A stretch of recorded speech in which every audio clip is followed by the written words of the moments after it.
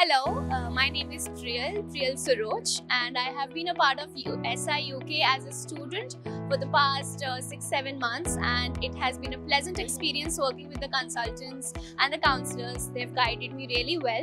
Uh, I've been associated uh, with Miss Kiran and Miss Vishali, who have been a great support, and uh, I have received quite offer letters uh, from different universities by now. So the success rate has been positive, and I really hope I get more offer letters.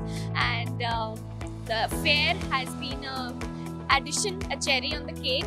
Uh, so I really hope uh, SI UK keeps organizing such uh, fairs and we get more information regarding the UK study opportunities. Thank you.